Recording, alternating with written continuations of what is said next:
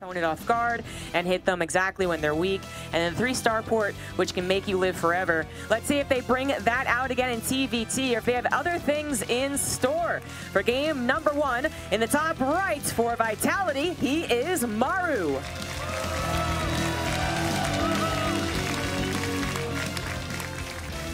In the bottom left, representing the Shopify Rebellion, our Blue Terran player is Byun.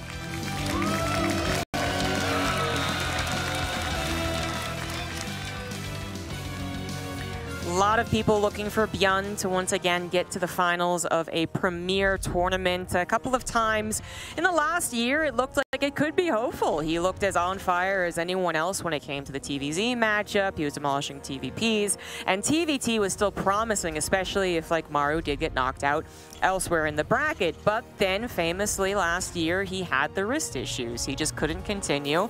And a very, very difficult and stressful match. So that's always on the back of people's minds, even if he gets up 2-0, for instance, here, and it seems like he's winning game three, there's always that like, oh no, is going to slip away, which I'm sure was also on the forefront of people's minds in his last TVT against Gumiho, where it did almost all slip away. Didn't seem to be because of his wrists, but nonetheless, Byun gets close, but can't quite get over that hump. It is absolutely a challenge, and it's going to be fascinating to see his approach throughout this series when he decides to pull out more aggressive builds, if he decides he can pull those out at all, because they really betrayed him yesterday against Gumiho.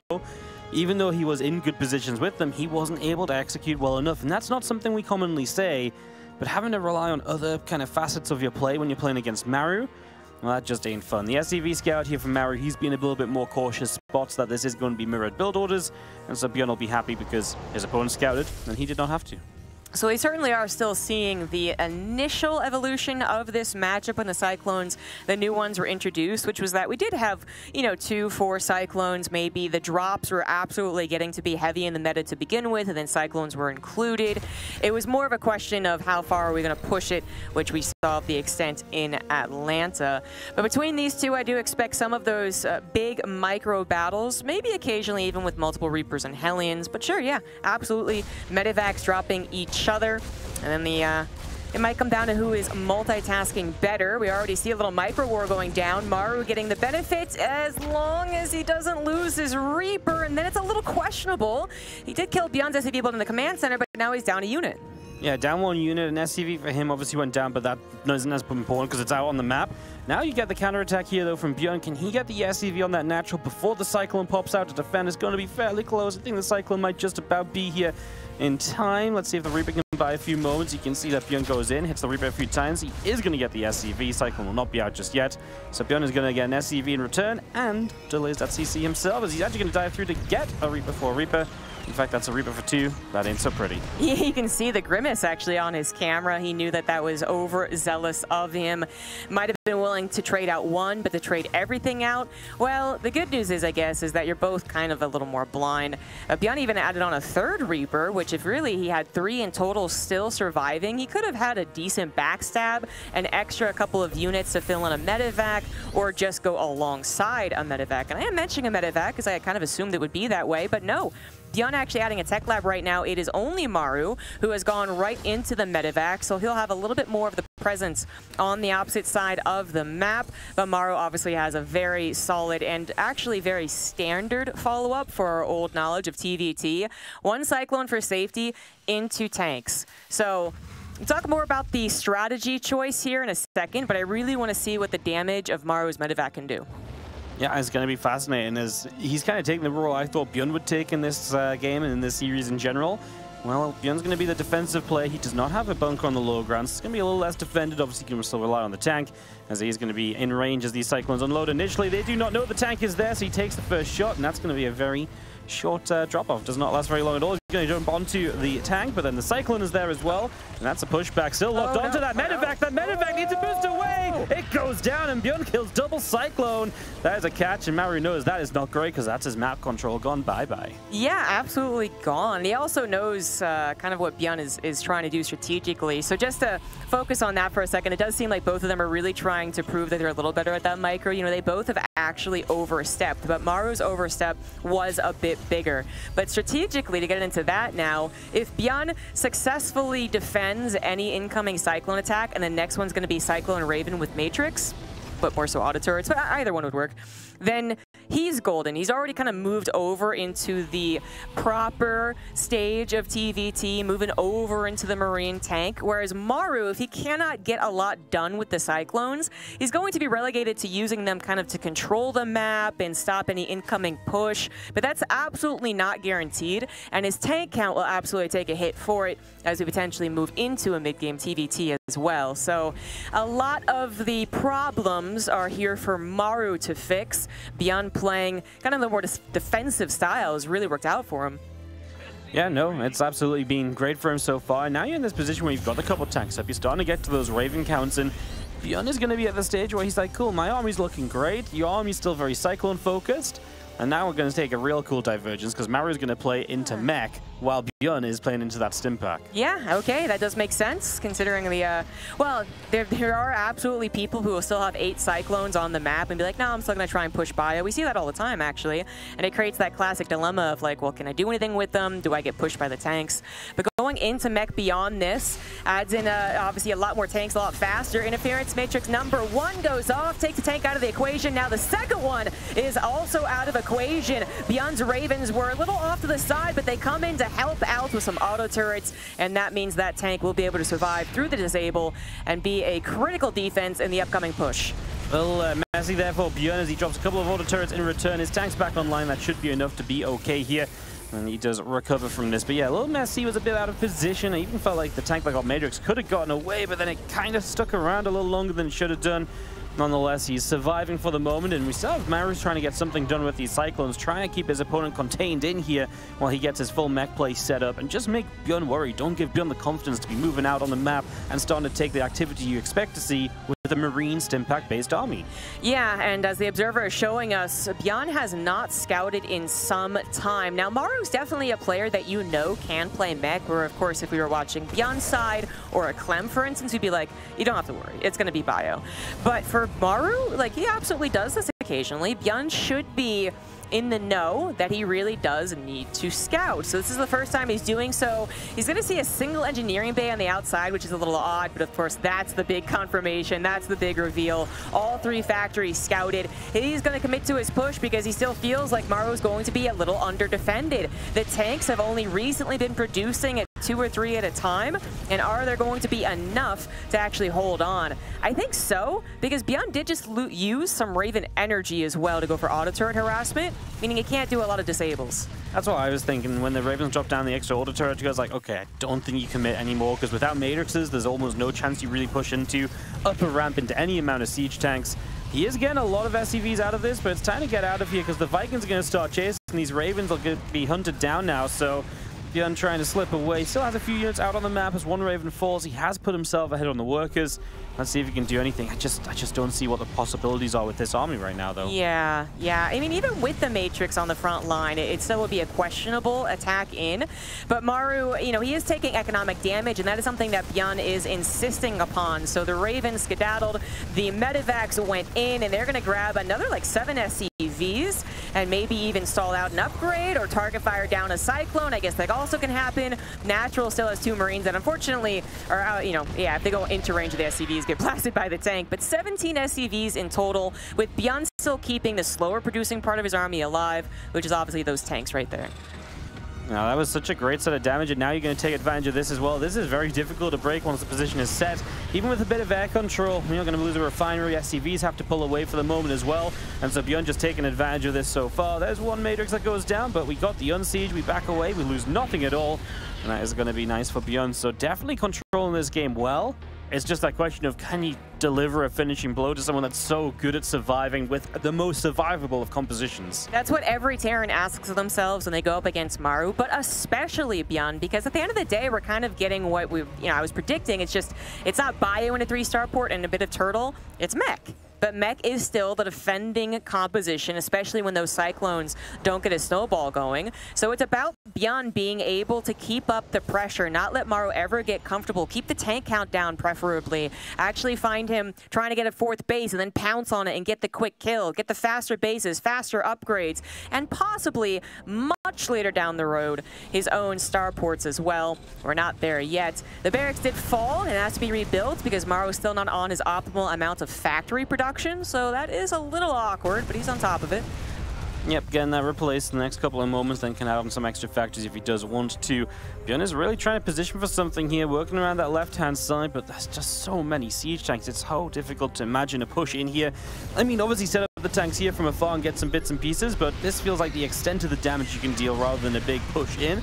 This is going to be nice to drop a few Marines off. Decides doesn't need to stick around. And denying gas against a mech player is great, and he's really making sure fourth doesn't get online while he puts his own fifth base online in position. So doing exactly what you need to do if you're not the mecha. Unfortunately, a push will come to shove. Like, this is now kind of more so the question as we witness Byun not able to find significant amounts of damage. If Maru does get maxed out with his mech army and his three Ravens still alive and the Viking control and does a successful push across the map, his army is better. Like, as long as there's not some, like, 360 no-scopes around, okay? His army is better. So that is now the timer for Byun, and he, of course, knows about it. Very accustomed to playing a lot of mech. He's been through all those metas and face Maru whenever he does it. But he also knows just how damn difficult it is to actually break him, whether it's defensive mech or defensive bio. Very, very true. That's uh, a lot of units still just on the map from Byun, just hovering around, waiting for their next opportunity. And Maru is about to start taking his fourth base, draw this kind of defensive line out a little bit more thinly. Maybe that's where Byun will find something extra. But I think most importantly, you put those extra starports down, you start playing a later game situation yourself because the Marine Marauder tank can only really take you so far. The extra starports that transition into air units, that really is the next step. So it's good to see Byun making that preemptively rather than as more of an afterthought. Yeah, yeah, it's very important that he actually starts to adapt to it. Now, he still has the ability to make an army much quicker if that is the choice, you know. He will still have the upgrades on that army, whereas Maru obviously will have the upgrades on the mech, including the air. Oh, whoa, Byun, whoa, the drop from the top was actually an excellent addition, and Byun chooses a great moment to at least trade efficiently, but he's not actually breaking Maru. In fact, not at all. As the Vikings land, more tanks come up. At the end of the day, it's going to be Maru forced to lift his fourth, which is actually still nice. That was not yet a planetary, so that is a delay on the mining. A couple more Vikings, a couple more tanks possibly going down. Hot pickup on the Vikings from Maru's medivacs, actually. And we have ourselves a wash as far as the supply goes. The Terran player playing Bio is going to be able to remax a little bit faster, but then having to traverse the entire map, the momentum's not quite going to be there. So that, at the end of the day, it wasn't exactly what Byun wanted. No, I was a little bit worried because I feel like he saw the base initially. He was like, oh, I feel like I can make a move with this because the medivac's yeah. at the top still hidden. The rest of the army suddenly turned. I was like, okay. Running up past the rocks, he really got super choked from the south side, and the army from the top just didn't quite bait enough fire away to kind of get him through that choke success successfully. Yeah. Which is why it was so much more of an even kind of supply at the end of the day rather than the complete knockout blow that Byun might have been initially hunting for. A hundred percent. You see a, a pull like that and it's just they they thought that they could obliterate them. You know, if they're if they're at 20 supply above at the end of that, and Maru is rallying tanks and Vikings into literally just like 20 extra supply of units. I mean, that could be it, because we really have to have a critical mass of units as the mech player, but that hold was actually spectacular for the way that the game goes from here on. The fourth base gets planted back down, easy planetary. Maru knows he's not going to be attacked in a really rough fashion anytime soon, so he gets the extra expansions, literally gets his fifth also on location almost at the same time, and he is now almost guaranteed to get, to get maxed out. But this is where Byun's transfer into his own air is really important.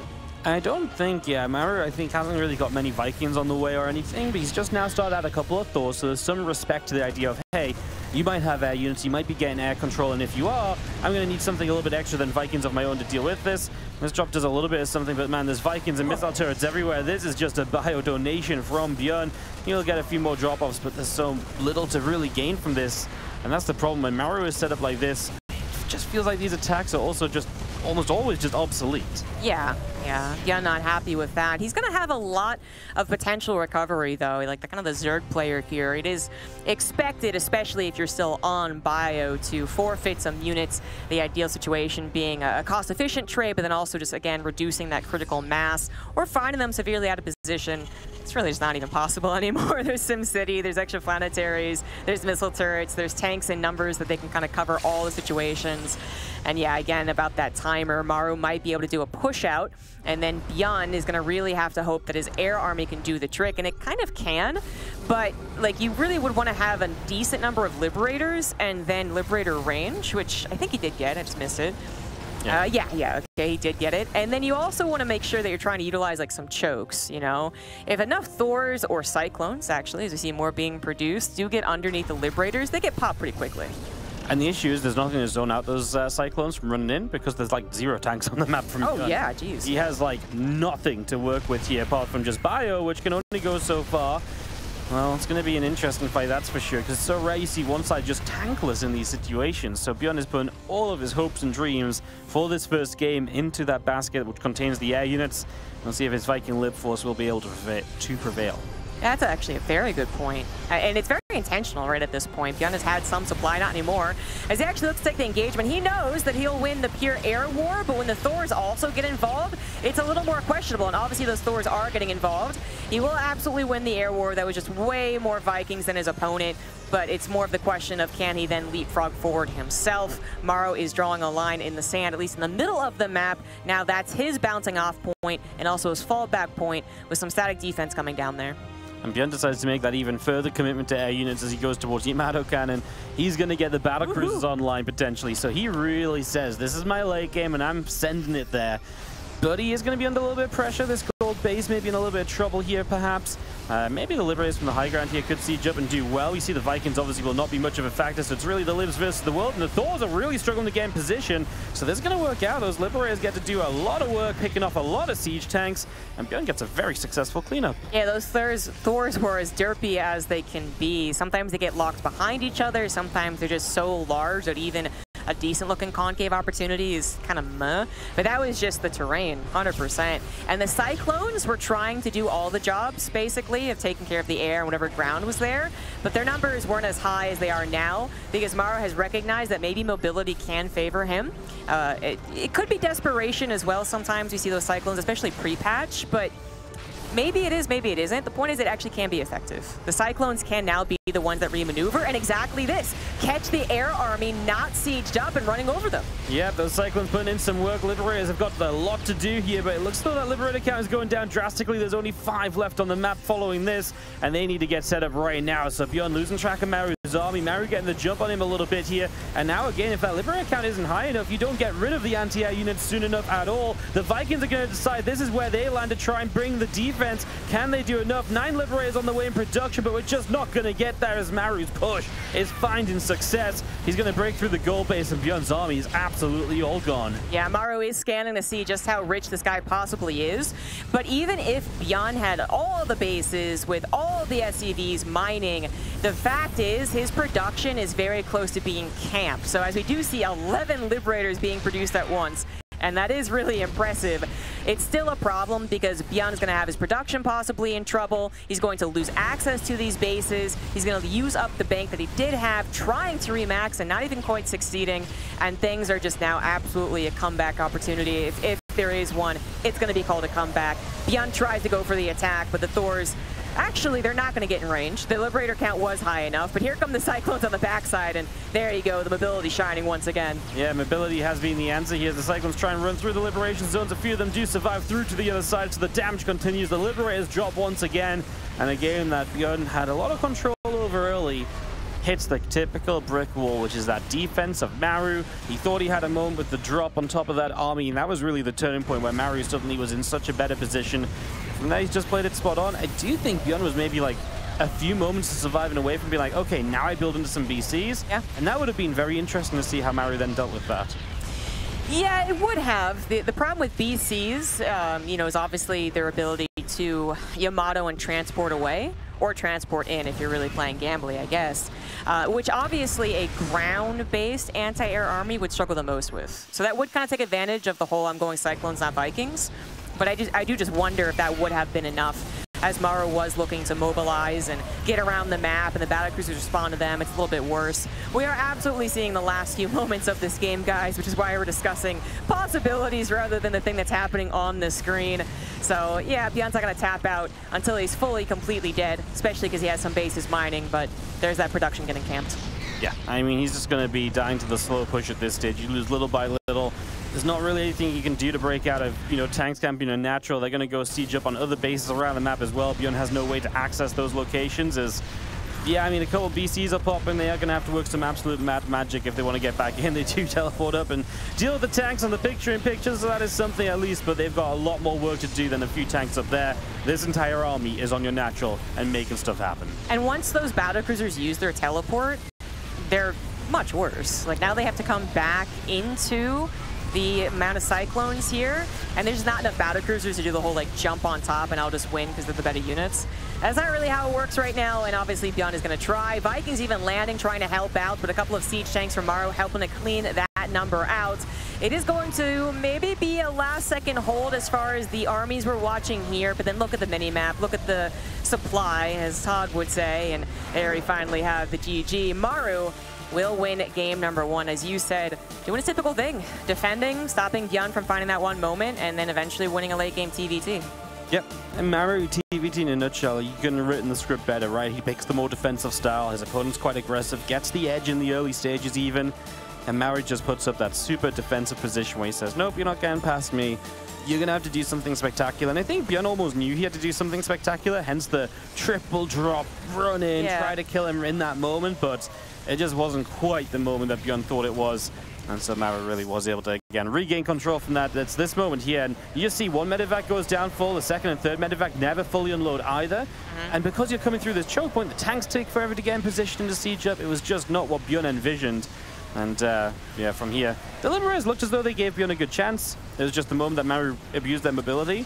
Immediately, they, they suffered. Yeah, 100%. The, the Cyclones, like I was saying, there, there are situations where you look at it and you're like, oh, well, you just can't win the air war. Like, let's see how this works out. But this now is a very just decisive and good maneuver. Like, it, it just gives your army suddenly the mobility that uh, Mech is not the one that's supposed to have it and Mar used it very, very well. It also gives that kind of more instant reinforcement feel too. So if you do gain momentum, you do keep it. I do wonder what that game would have looked like. Of course, in one scenario, Byun's attacks are a little bit more effective and he's really got Maru on the ropes. But in the second scenario, if Byun had really played quite turtly himself and added in more tanks, like if there was, let's say, 10 tanks on the field instead of whatever amount of bio that he had with the Liberators and Vikings, then I can imagine there's a lot more of those push-ins that we saw at that last one of those last battles where the tanks obliterate the Cyclones and uh, landed Vikings of Maru, and there was like some Hellbats in there as well. And then a missile turret line as well to help him out just in case things go really awry. But he was still playing Bio Viking Liberator. And uh, he actually was the one that got outmobility. So, yeah, it's funny how that works. And it, it, you were right. At some point, you were like, sometimes the cyclone's like a desperation thing, but in this case, it was just, hey, I think I can outmobilize, outmobilize you, and it happened immediately. Like Byun just lost track. They came in from the other side. And hence Maru gets the 1-0 lead in this qualifying match to the Esports World Cup. The quarterfinals here in Katowice. Well, in the top right, leading 1 to 0, off to a great start from Vitality. It is Maru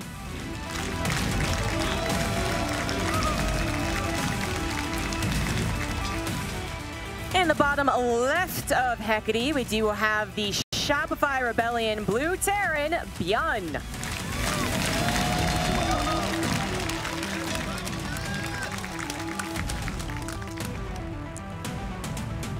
Let's see what kind of stars we get round two of this one. As you already see a difference in immediate openers with a gas first of Byun. And Maru will go with the racks before any gases get taken in the first few moments. Yep. We might see a proxy or a cheese or, you know, basically to go to two racks eventually, but so far, I'm actually thinking that we might see an attempted greed before we see the attempted cheese, which is the very fast third CC that we saw Cure do on the first day, and then was it Maru on the second day? It was someone on the second day. Um, that worked out very well. So yeah, that's uh, That's my unnecessary bet. we do have both players one racks expanding, so that's already a little bit more greedy. It's just that Maru is going to bother the SCV scout as well. Yeah, I mean, again, clash of styles, right? Byun will take every risk and possible, like, you know, corner cutting kind of mechanism, including not scouting, whereas Maru just says, you know what, I am going to scout.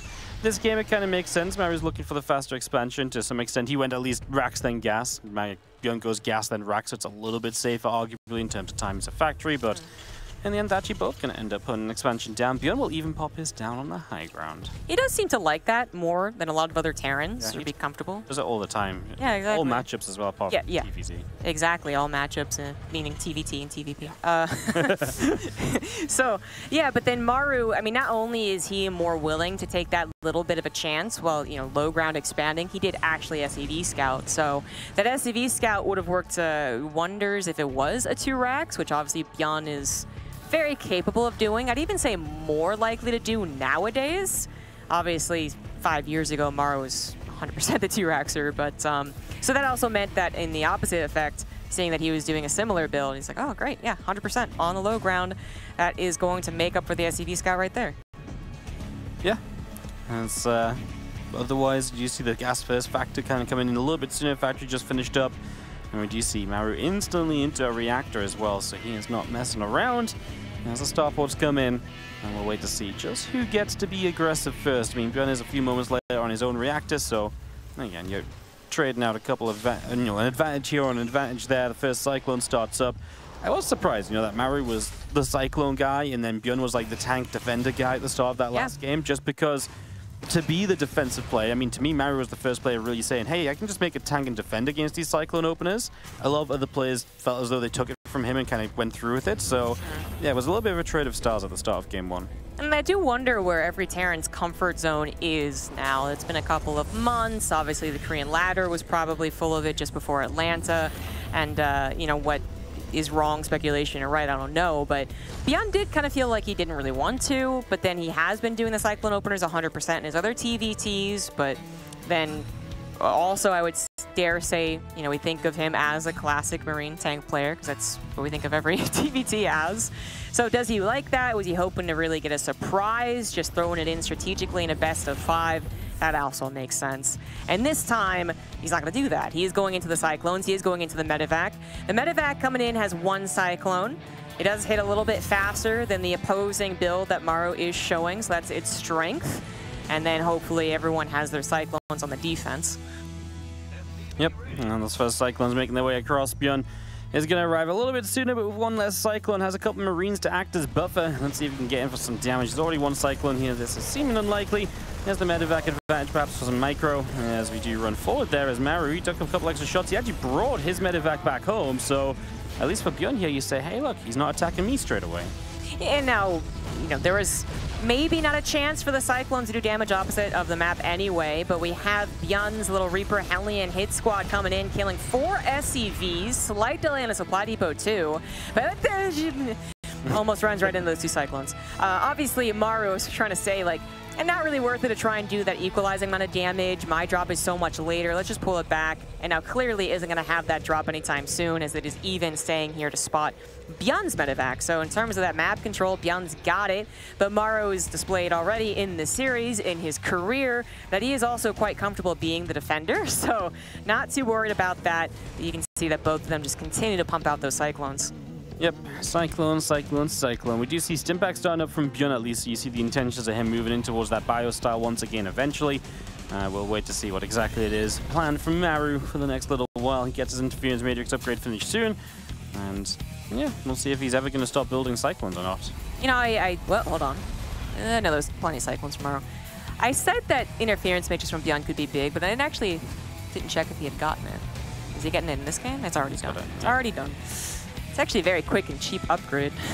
So, yeah, it helps out mostly in TVP. TVP is pretty much a go-to in TVT, pretty much. And uh, then it's a question of what is the correct spell. If we did see them clash with the Cyclone Raven battle, then it'd be auto turret. But now as we do move over for both of them into Marine Tank, it is going to probably be more about the Matrix, but that is the current situation. Both players going into classic bio versus bio. Yeah, I'm just uh, going to go kind of take a throwback to usual TVT. As Byun is a little bit faster on some of the upgrades here. Hmm, it's going to be Maru moving across the map, though, has a slight army supply lead. Byun defensively with the bunker setup and all the rest, I feel like he should be fine. He is down one Raven, that's by choice as well. He just cut his Raven production sooner to move away and to start doing other things, so Again, essentially just a fast transition from Byun, but if Maru doesn't do much here, then I'd say he's gone away with it. But where are the Ravens of Byun? Not nearby to help with auto turrets. Oh. They're across the map, going to try and deal some damage. Well, that means that Byun has to pull SCVs to make sure this doesn't get out of hand. He has got a couple of tanks. They are going to have to put in some work right now as he's losing a ton of SCVs. But hey, he got a lot of SCVs too, just not as many as Maru did. And just now finishing off those final couple Cyclones. Yeah, 21 SCVs killed versus 12. Maru does lead the economy by about 9. One last Raven with an auto turret, I believe, to chase these guys down, try and equalize that a little bit more but it doesn't seem like it is going to happen. As far as the actual trade of units, I think we'll see that in a second. Just this, yeah. Again, last auto turret. One, ah, one, two. two. So yeah, two more. So that's a five worker deficit for Byun, a, a, five army supply advantage. But what is the army supply in? That's what I wanted to check. Yeah, he, he did save all of his tanks. Byun did. So he now has two tanks. And what does Maru have setting up in that natural? That is the big question as Byun looks to try and use this slight army supply advantage to get that counter. And that's the first tank popping out now for Maru. The Ravens do have energy for Maru. That is going to be extremely helpful. But this is Byun's time to truly equalize things as he's down four workers but his third CC is coming onto location. Yeah, these tanks are going to try and push their way into position. He moves in just as that tank unsieges. The Marines do have a stim available, and a couple of those racks of marriages available to be hit from that left-hand side. So they're going to be vulnerable, but there's that Raven energy available, and that Raven energy really feels as though it could make the difference here. Byun's already the one taking shots, so he's going to have one tank matrix, the other tank gets lost, and this is a good cleanup from Maru, and he was dealing damage with that medivac. Yes, he was. In the picture-in-picture, we saw the natural, and now apparently the main base under attack by a single Marine. He's trying. It's going to actually get out of there, scout the third CC's already on location. Not a big shock, as Maru probably anticipated it, having to close up in his natural and make sure that he survived. He does not have the SCV lead anymore. He doesn't have the minerals, but now he does have almost a 20 army supply lead. Should equalize on the combat shields uh, by the time he actually reaches across the map. Now, for me, the question is, will he equalize on I would say yes. Byun's tank should hold on for both of them to have 1-1, and then there'll be a very similar army. Maru, which is a handful more Marines. Yep, those extra Marines a little bit more buffer, but at the right position, an extra bit of buffer doesn't always go a long way. Still just Byun harassing with these Ravens, you know, never coming back home, never using themselves defensively, and that's a major thing missing from the bigger fights, that Maru will always have Raven casting going into a bigger engagement. That's huge. Matrixes, even an anti-arm missile maybe in the right moment. As Maru is going to wander up this ramp. He's going to get there, taking a couple tank shots. I'm not sure I love this fight from Maru, but he gets the Matrix down. Those Ravens are immediately effective. Yeah, he actually was just able to get uh, enough up that choke not to get completely blasted. Then he had those extra Marines, so even though that tank got a couple extra shots off, the interference Matrix had to come down a little later. That was the move. Maru pushes through and is now pushing into the natural of Byun Armory gets destroyed, Refiner gets destroyed, and the SCVs do have to be pulled, but into the slaughter they go. That is not going to be it. Maru, with decisiveness, with that ability to read the situation after the scan, forces his way up the ramp and will take the second game in his TVT. Maru just showing a bit of dominance, quite frankly, right? Just looking good wins out the early, you know, said, okay, you know what, you want to attack me first? I'll just play defensive. I'll just wait for you to kind of end up in a weirder spot. And then when he did go across the map with everything, Byun had his Ravens on the other side. That initial trade definitely went Maru's way.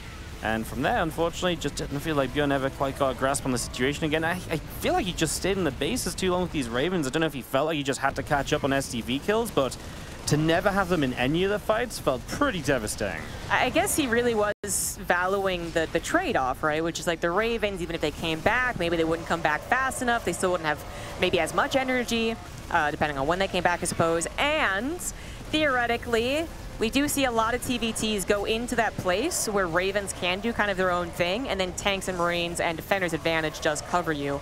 And arguably it could have for Byun. That tank only kind of catching like uh, half the Marine, shall we say, going up the ramp was a, you know, it was a big deal. And then there might have been a second tank just not in position. Not certain about that one, but it's possible because he had to worry about both that ramp and his third base that another critical unit was out of position. So you absolutely have to play pristine from that point for Byun using the Ravens as you do. But it would have maybe been theoretically possible. It's just that Maru is so decisive and so good and had the scout with those scans to say, oh, no, okay, I can take that on. All right, well, as we take a look at the trophy, we are going to get ready to go into game three of this best of five. Byun going to have to turn it around. Game one felt like there was a little bit more hope for Byun than game number two. Problem is, it's just, it's Maru, and he's absolutely shown why his TVT was feared for so long, why it still is feared, why it is some of the very best out there. As we get ourselves ready to go into the game number three, Maru and Byun about to be played on site Delta. Yeah, this could get action-packed pretty quickly. It is one of the maps where we saw the battle cruiser shenanigans from Maru in Atlanta. But uh, that's a little less likely. This is shorter. It is closer as you expand. And they have been looking for those early game advantages, even arguably pushing the issue a bit too much, like in game one. They definitely were trying to get that little bit of an edge. Game two, it felt like they did kind of chill as far as the very early game units, but then it did come down to Cyclone Harass and Raven Harass. End of the day, Maru leads 2 to 0, looking again as strong as ever in his best matchup. And now he is spawning in the top left of Site Delta for Vitality. He is Maru.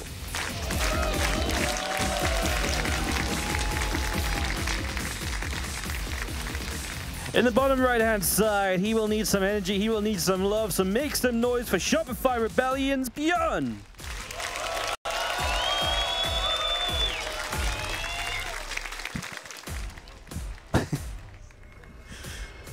I love the signs in the crowd. Been having me giggle the last couple days as we get set up here on site Delta. One of the maps with a ramp on that natural, which takes away some of the cyclone aggression and can encourage you to maybe play more into that tank early. Yeah, and it does seem like we're shifting more into normalcy for TVT, so that's kind of what I'm expecting.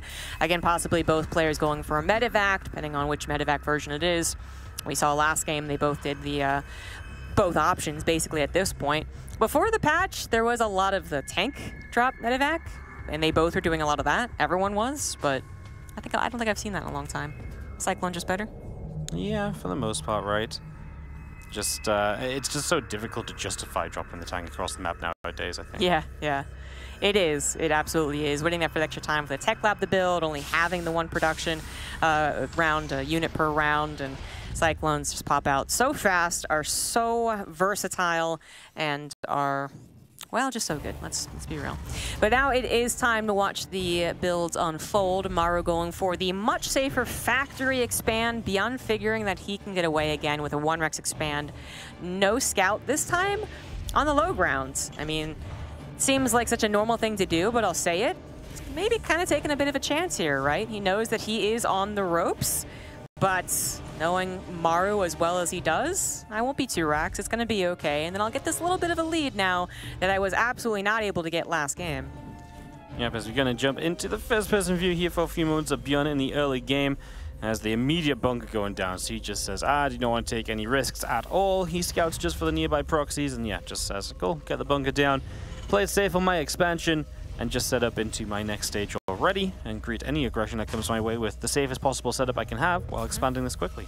And with this setup, I am kind of thinking more about the one Cyclone into faster tank that he displayed in, in game number one. Mm -hmm. And then instead of, uh, well, hopefully the game ends up going differently from that point, which is to say he gets to build up his tank count faster, getting to that type of more Marine tank Raven-based army, and then actually does a push. And if the other player is committing to Cyclones and they're not playing absolutely perfectly as far as the scouting, as far as the micro goes, then suddenly on this map, the tank push is just there and the Cyclones are choked in on their side of the map or even up the ramp, and it's a it's a freaking disaster. But that's the call I'm making right now. We will see in basically a second that Cyclone was on the way, and then because he's moving so fast, I didn't exactly see what was happening. I think he put a tech lab down.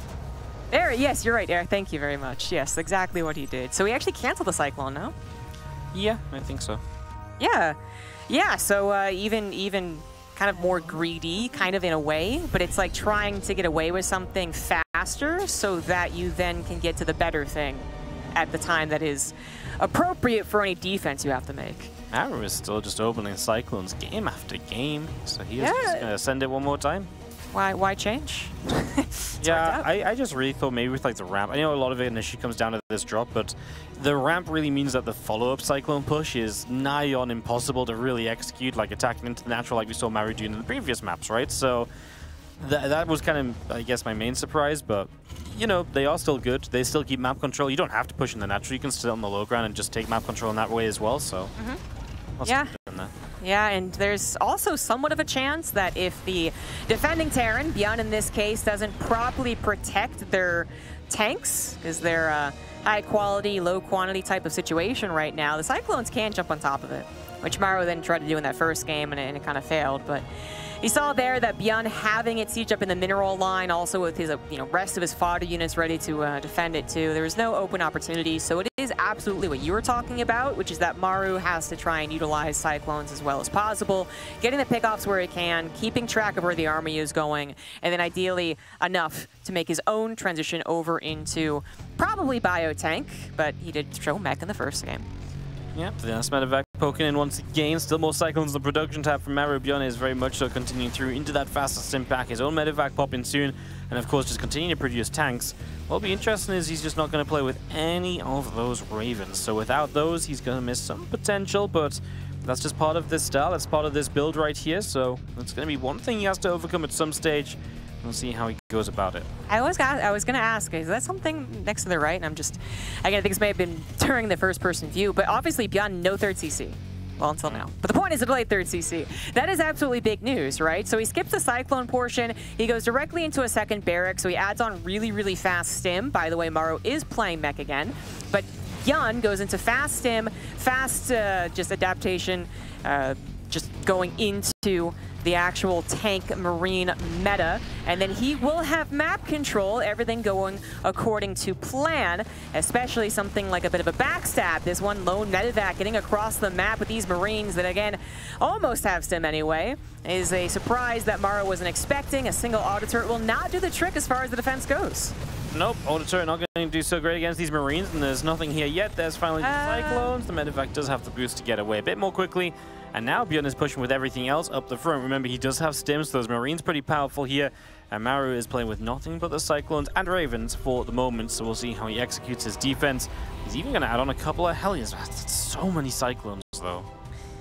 And they are actually getting out in the map a little bit. They didn't let Byun's push just... Oh, that's why Byun is, is stalled out. He had tanks sieged up while they wait for further reinforcements, further critical units, and also hopes that Maru just runs blindly into it. Maru no longer blindly into it, scanning ahead, looking to see how he can use his Ravens, but reinforcements have arrived, and Byun is going to continue this push. And if he does get sieged up, able to hit Maru's natural ramp, this is going to be so freaking difficult for Maru. It really is. These tanks are working their way forward. We're going to Matrix a bunch of them. Going to try and drop some auto turrets towards the back as well. The Marines are stimmed up, though. They're putting in some work. None of the tanks go down, so they should be able to press on forwards. Maru gets his first defensive tank of the game up that ramp. We'll see where Byun wants to try and set up himself as he can take his third base and location during this time now, whereas Maru is going to be very much so locked into these two bases. That was Maru double scanning, being like, oh, you are being more aggressive, aren't you, cheeky guy? Absolutely the case. He's going to have to make a hold here. SCVs have been pulled. The tanks are friendly firing, but they're also taking down many of the SCVs. This might be a hold, but it is Maru on the, the ropes. He's down in supply. He doesn't have a third CC, even though his Byun was later. It's all on location, and that's just not something that Maru is going to get up and running anytime soon. Yeah, triple tank siege is here. There's one tank in reach. Byun is going to have the tank numbers to go at least one for one. He actually gets it without losing out. And again, every time we see him tank dive from out, it's just one less piece of defense for Byun to have to go through. So that's always great, just picking off a reactor here. And again, just putting the pressure on Maru, trying to get as much as possible off of this initial push. Because you know there's still a point where maybe you can't end the game. You need as much of a lead as possible to really kind of, you know, take this down. We saw that in the first game. And as far as optimal time to go ahead and just kill a Terran in TVT, while they're still on two bases, it's kind of it. Once you get three bases, six gas for this factory player, it's going to get much, much uh, more difficult to do so. But you can see that Byun is succeeded in his attempt. That natural has been breached. Maru's supply is in the gutter. It's basically just the SCVs coming in for the fight right now. Byun is not going to be taken out of Katowice 3-0. He is going to fight back. GG. Byun gets a map on the board. He is able to fight back, as you say. And just a well-executed game, you know, clearly had the plan, clearly had the intentions of how this was going to work, what he was going to do. Took very patient fights initially, didn't just try and push up straight away into position. Said, okay, I'll siege back, then I'll go forwards, and really just took a few moments in setting up there. And Byun puts himself back in this series at the very least for now. Two maps to go, long way off, but a big step in the right direction is yeah, this fight was really important because the Ravens, they hit the matrices, but we just never got through to hitting those siege tanks down. Like, all of them survived. Yeah, and you can see just how much extra that, that barracks came in. The few extra Marines, yes, but then obviously having Stim at that time. And you don't have as drastic of a concern about, like, well, Stim or Combat Shields, which one is, like, the most helpful? Obviously both. Uh, Stim has mobility, Stim has DPS. Combat Shields, they let you survive another shot from a tank which if Maru had also gone for a more classic opener and had obviously more tanks and any tanks at all really, the lack of combat shields still would have been a concern for a direct fight. But just their DPS, their numbers were going to overwhelm the Cyclones there with the help of their own tanks, obviously, too. And that was just a very well-planned build, finally kind of getting away with exactly the plan he envisioned as well. Nothing went awry. On a map that I thought was pretty perfect for it as well. You mentioned the ramp. It does make the Cyclone usage a little bit more difficult as far as finding that damage and then making sure that you play the absolutely perfect game with Cyclones after is difficult, even if that wasn't a faster second barracks just uh, reading through these guys having a chat in the lobby before we got into this one. They were having some fun. Byun was like, hey, you like my build? Maru's like, I think I hard counted it. You just got lucky. so these guys are having a, a, good time here in the quarterfinals. And in the bottom left, he's still just one map away from the Esports World Cup and the semifinals of Katowice. From Vitality, we have Maru.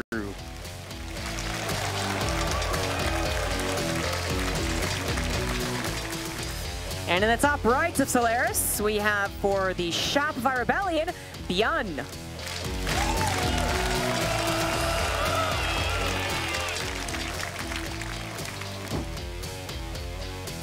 Really nice of them to also be typing in English, by the way. Yeah, I don't think they have Korean enabled on the on uh, stage PCs. Ah, that before, would Before they were typing in Korean, but in English letters, you know? Yes, yeah, yeah, yeah, right. Okay, that makes sense. Well, that means we can actually explain just how much they are good friends, and how much banter they do, which we saw on stage. Loved it. Yeah.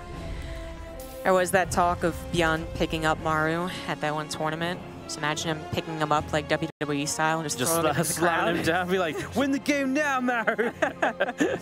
That's the way to do it. People say you can't defeat Maru, but one way you could defeat him slamming them to the ground. it's like, is it in the rule book? Like, have we accounted for this possibility?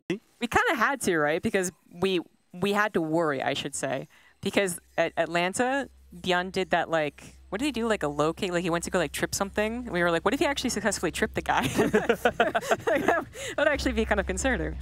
But anyway, anyway. So obviously Byun able to bring it back. Very confident in his build order choice. Very confident in the play. Therefore, uh, thereafter, and Maru even if he had scouted that second barracks faster, there's more of like a, oh, what the heck? What are you doing? Ah, okay. No third CC, like, I know what you did. I wonder how he would have adapted. I guess it really does depend on when he would have scouted it. Obviously, seeing it building would have been like, oh, okay, time to change my plans. But seeing it as Stim finishes, like that probably doesn't give him a lot of time to adapt. Yeah, no, just just a little bit too late on the information gathering and that's been a big part of it, though, right? Like, Maru has very rarely gotten across the map super successfully with the medivac. You know, he lost it in that first game with the Cyclones inside, and, you know, in the pre in game two, he brought his medivac back home to play defense. So he's just not getting across the map with that harassment. That is usually then also the additional scouting info, right? So, yeah, tough to find that if you don't get that medivac across the map, and Byun's made that the kind of the precedent of this series. Also tough if you don't get any single tank snipe while they're still fairly low on units. They don't know exactly where your medivac is coming in from, so absolutely. The tank in the natural could have gotten taken down. The tank in the main was in Maru's sights and then decided better of it. One less tank could have made that final battle very different still. We go on to a larger map, a little less of that direct confrontation. Uh, so certainly not as skinny, and so can encourage a more macro game in general. But most importantly for the early game, there is no ramp this time. So if Maru wants to stick to his guns, continue playing into the Cyclones, would be, you know, a little more effective. I do have him swapping over to the reactor, so it's definitely Cyclones. Oh, what a surprise, man. We're getting the Cyclones going once again. Byun again, kind of on his own kind of variation, right, where he's going to have the few units plus the single Cyclone on the Medivac initially. We saw actually on that uh, attempt last time he did this, the Reaper Hellion got a few SCV kills, and it's like, okay, well, that went well. You know, the distraction in the main really opened the door for the Reaper Hellion to get through and deal some damage. Hmm. And uh, could be something similar again, as obviously Byun is also now on a reactor, and is also building up into Cyclones. This could be a very quick game indeed, actually, as we have a micro battle. Both players losing the Reapers, and now the Hellion. it's popped over the Reaper's head. Yeah, but it does die. Uh, obviously, it's not going to impact too much more, but it means that Maru might get a scout. He's, I mean, he's already committed to his build, obviously, and he didn't scout that the medivac from Byun already raced across the map because, again, single Cyclone, a couple of extra units, not double. So this was uh, similar to what game number two. Maru did choose to pull back, and that seems to be the case once again, figuring the timing was lost on his drop anyway, possibly two. Ideally, as the two Cyclone player, if you can come back and get a lock onto that medivac, it's fairly likely to die, even if uh, the Cyclone lock-on doesn't do as much as it used to, but not the case here. And we do have them going into, uh, at least Maru going into Stim first and foremost. So he's not added on that second barracks, right? But he's absolutely added on the Stim upgrade faster, more intention to go into the bio. So it's not going to be that quick game that I was envisioning. I was absolutely worried both of them would continue making Cyclones, continue making Ravens, and then try and just defeat each other in each other's naturals. Not going to be the case. Byun might be the one who tries with his current composition, but Maru is the one that's making that step forward into bio faster. Oh yeah, no, absolutely. It's uh, it's interesting because obviously it's just a different tendency to previous games. It's always been Byun having that slightly faster stim and that next setup ready. But yeah, Maru's going to be changing up himself this time around. Let's look through his eyes for a few moments. And as this early game TVT does get established, obviously just at this point, you want to make sure everything's set up defensively case some harassment comes in. You can be anywhere you need to in a couple of moments. Make sure there's not going to be even a couple of SCVs going down. Uh, no movement with any Ravens across the map either. Not looking to auto turrets and mineral lines. So yeah, everything just focused on being the defensive setup for now at the moment. I think I'd be terrified if I was Maru, but he's obviously very confident. But without a bunker, when you are trying to make that transition happen on a map without a ramp, and the only scout you have is a Marine going down the center of the map, which may see the incoming attack. Yeah. I don't know, I'd be a little concerned, but whereas we saw Byun make sure to just be totally rock solid in the defense and his attempt to kind of move on into his little two-base attack, which was very neat. He got a bunker. Maru's like, ah, don't need it. I don't know exactly what you're doing, but I figure I don't need it. And he's uh, so far right about that, even now sending a medivac drop off. I'm not sure where uh, Byun is at. There's a couple, oh well, I maybe I should have expected this. Byun loves yeah. sending his Ravens across the map and then going for auto turret harassment. Yeah, shows up, just drops the one this time around, says, okay, units in position, not getting much out of this, so he will just back away with those Ravens. I really wouldn't mind seeing the Ravens rejoin just the army compared to that previous games where he put so much emphasis on trying to deal damage. The medivac of Maru about to arrive into the main base of Byun, who has got a couple tanks. He's actually very set to go maybe onto the map a little bit. A few SCVs can transfer to the third.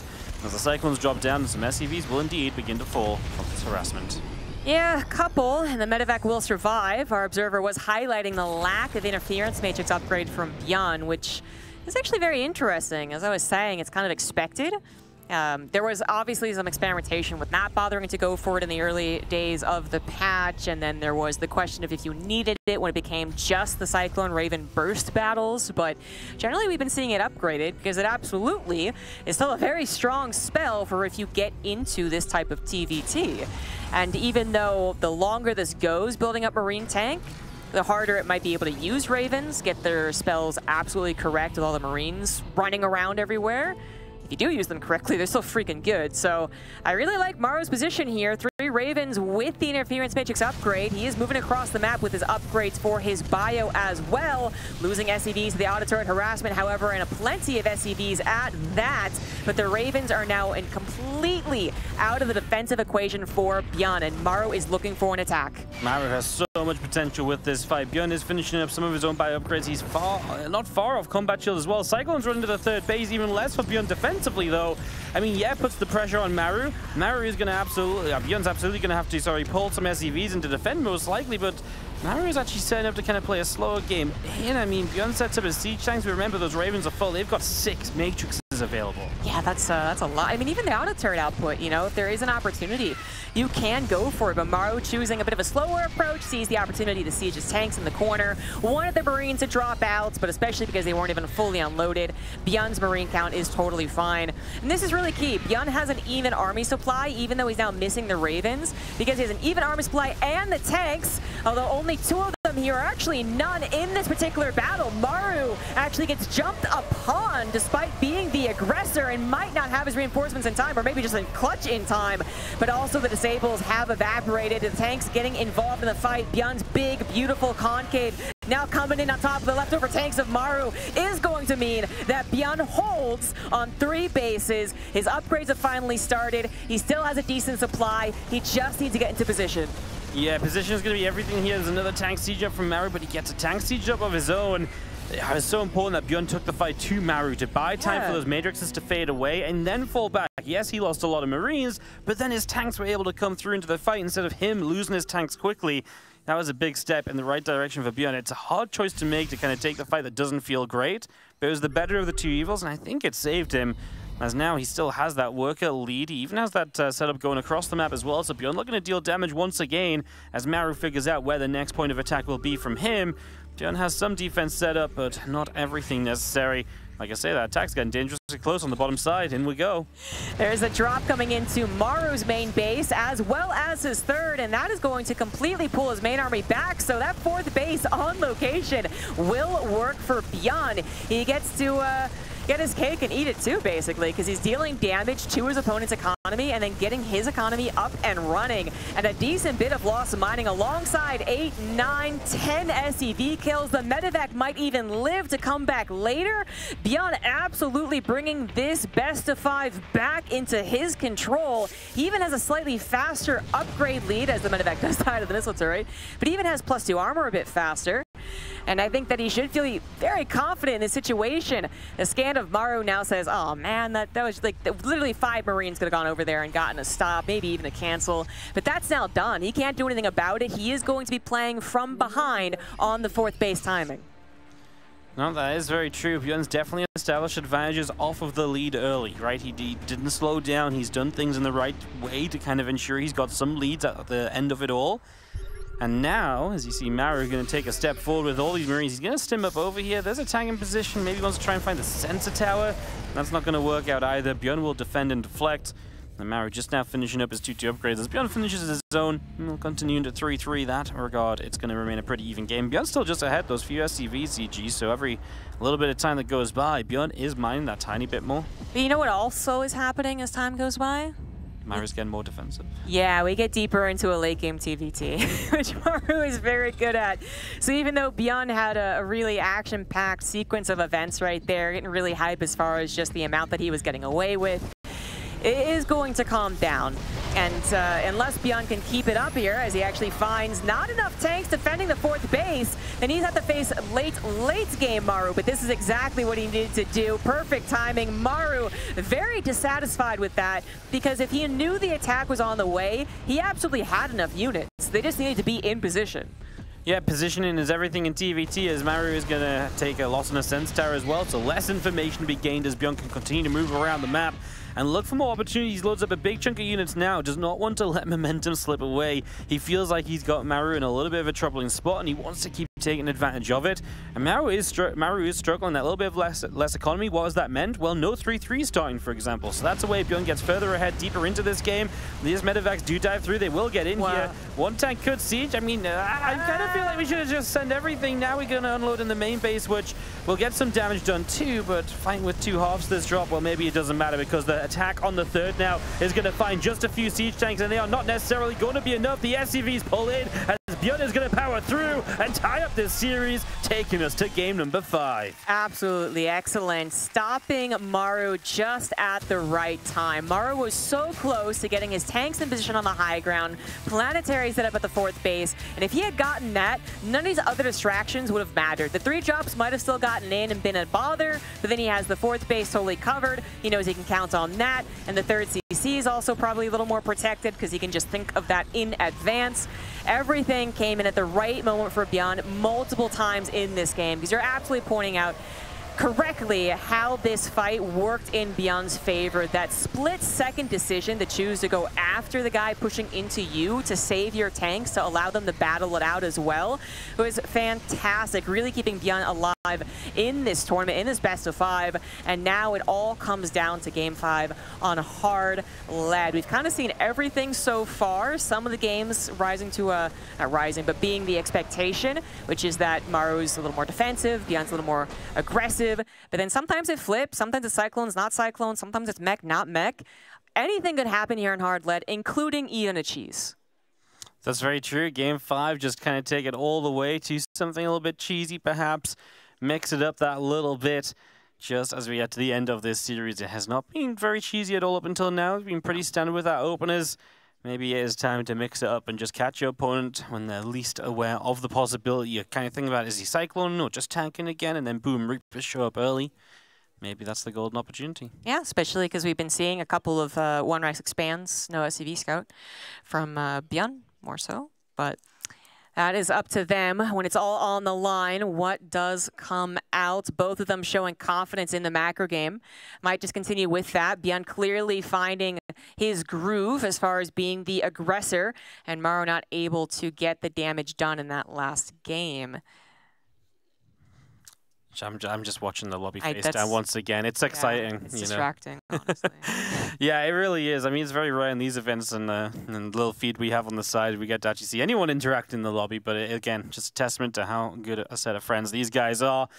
As we get to game five of this TVT, a fight for the semi-finals. Maru, he got denied at the final hurdle last year. He came in looking for vengeance this year. Might get stopped by his good friend Byun, who for Katowice the semi-finals would be you know, one of his career highs, especially in the last few years. Yeah, no, absolutely.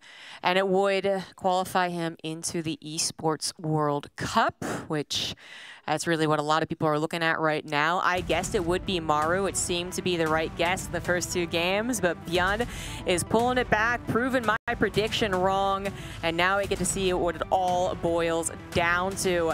This is going to be the final map of this best of five TVT. In the top left of Hard Lead for Vitality, he is Maru.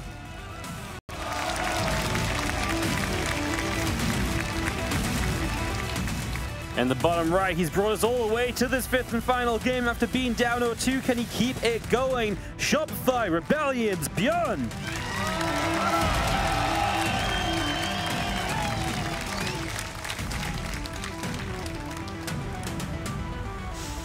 No SCVs being sent out, but Maru's camera just went all over the place. Approximately 50 screens per second.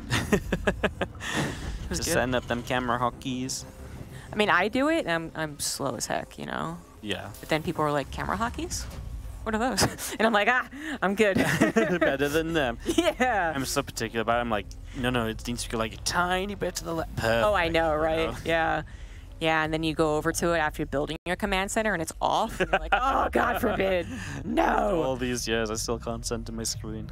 No, apparently, yeah, we can't. But at least we get our command centers on location.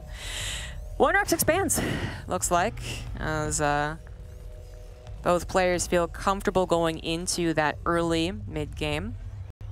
Or just early, I don't know I said early and mid, I guess is what I was going for.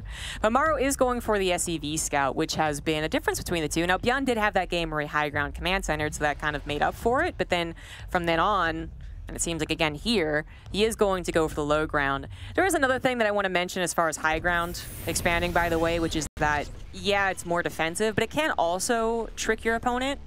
So that is worth mentioning. I don't think it has in this series, but if they only scout the natural and then leave immediately, that could be deceiving. And obviously, in this case, if they only scout the natural, that would be right on the money. That is absolutely a command center. Yes, it is. As we're going to see, Maru is going to start up a second Reaper, which means compar you know, comparatively his factory has turned out to be way later. So very interesting little uh, kind of discrepancy between the two. Marigan aggressive. Byun's Reaper's on the map, so he's going to have to delay on his CC perhaps here. Comes back up the high ground. We'll see it now. He's got a Marine to help him here as well, but he takes a shot or two already. That ain't going to help you out too much. This Marine needs to get in front and make a little bit of something happen. Decent grenade. I think it's just going to be an SCV trade there. Byun looks so disappointed. Yeah, yeah, I thought it was honestly pretty okay. Yeah, I thought that was okay. It's like your SCV was building continuously. You saved yeah. both units. So, yeah. It's like, yeah, I, am not sure what he thought he was going to be able to get instead, but... He really did not want that Marine to jump on the grenade. He's like, man, Marine, bro, you could have been, you know, could have been the end of you. I guess, yeah. Well, it's uh, back to the micro battle that, yeah, Byun should be able to win, especially as he went for a Hellion, which is very safe as far as defending the very, very early game harassment. That is uh, the Reaper, so pretty freaking safe. Goes into the Cyclone after, and then the question is, does he go directly into that Tech Lab? It's been an effective opener for him. It's gotten him to the game that I think he does truly like best. There is still honestly question as to where exactly people's heads are as far as their opinion of the Cyclone in this matchup. So it seems like both of them are kind of admitting it, and this is actually what happened in Atlanta, by the way, is that we saw a bunch of Cyclones, the extremely weird Cyclone games too, and then just all of a sudden, both Terrans were like, nah, no, thank you. Back to Marine Tank. Cyclones are silly. Well, we will see a couple of Cyclones on the way out here from Byun, but you correct. It is going to be married for the first time, really switching it up away from Cyclones, right? Just Tech Lab finishing up on that factory, and uh, Tech Lab starts on the starport as well. It's just going to go tank, Raven here for the setup. Byun is going to get the interference matrix up. He has plenty of units to defend here. Can we just snag an SCV on the edge? No, we cannot. And that's going to be fine for Byun. One thing that's going to be a little awkward is that if Byun doesn't choose to be aggressive with this opener, which it looked like it was possible, like I was saying, like, oh, we could have a short game, it could be both of them going that 8 Cyclone bust. Byun was more so the player that was going into it. He got more Cyclones, but then it, nothing actually ever happened with it. If it once again never happens, then Maru just gets away with this third CC. The timing of which you can punish the build of your opponent will be gone. Something we've seen in previous TVTs. Kind of the faster you get your set up, even if it seems greedier at first, the better off you're going to be with it as the game continues. Maru's Reaper will get in and see actually a really good scout because I think he saw the factory, saw the reactor on it too. Yeah, 100%. So really great scout. He really has a solid idea as to what Byun's plan is. And now, of course, the concern is making sure you don't get bopped by a potential push. But it really is now the question, will Byun push? Yeah, I, I kind of wanted to say that I thought he was going to. I mean, he hasn't built the medivac, which to me suggests he really wants to focus on Ravens. True. Units that can go across the map immediately for one larger push. And I was kind of thinking I, I want to see a bunker from Maru. Like, I'm a little bit worried. If these Ravens get double Matrix on these tanks, you just have Cyclones versus Marines, this could get very messy very quickly for Maru, but Byun starts to find that opportunity. That's an absolutely good point. You know, I was talking about how this might take advantage of the way that Byun played last game, but the lack of medivac is really different. Well, this also for Byun might take advantage of that fear that I had for Maru, which is like, uh, no bunker, really, during this? Okay, all right, let's see how that goes. Obviously, Maru thinks that it is not necessary to a defense, but other things would still be necessary, such as kind of having an expectation that's on the way and having the control to uh, fight against it. That Hellion Scout seeing the incoming initial army and probably assuming it's the rest of it as well, and indeed it is. Interference, which is coming down on one tank, two tanks, there it is, but auto turrets from Maru looking to soak up the lock-ons and deal some decent damage. Also, just by time, Maru's tanks will not go down in the fight, and if they don't go down, then Byun can't do anything more. And with this successful hold, Maru might even be able to push out a little bit and start to try and take his third. Yep. Uh, and, this is where Maru, that faster third CC, that greedier style, is just all around going to give him a lead. Slightly faster upgrades. The SCV count is better off. And that's what Maru has done a little bit sometimes against these Cyclones, just say, hey, I can get away with being that little bit greedy. And this is one of those examples. It was a pristine defense, did exactly what he had to straight away. Tanks were deep enough that they never got exposed while matrixed. And he comes out in this position now where he's up in supply, and rightfully so. His build has paid off for him. He is still playing very defensive post that engagement, though. Missile turret on either side before his third CC is down. Basically, it's like when a third base uh, for a lot of the races is down and saturated or getting there, that's when they feel a little more comfortable affording some static defense, unless they know that their opponent is doing a very aggressive opener. But the missile turrets come down despite the uh, kind of you know, the, the push-off of actual starport and medivac production, which what Byun is doing. Uh, the Cyclones managing Thanks. to find a couple of pickoff right there.